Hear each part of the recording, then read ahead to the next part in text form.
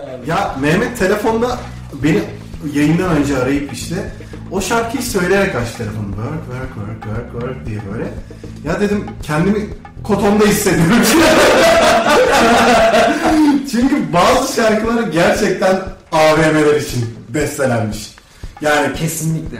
Ya work work work ancak şu hani Asansör müziği diye bir şey var abi. Ca- caz zaten o, diye bir şey var. caz zaten hani oradan birazcık daha şey olmuş. Hatta öyle tabir ediyor ya, asansör müziği.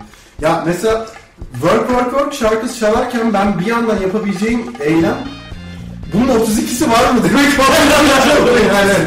Sen orada kabinin içinde, ter içindesin. Arkada work work work çalıyor falan. Bir de şey var abi mağazalarda görüyor musunuz böyle şazamlayan adam var. Abi.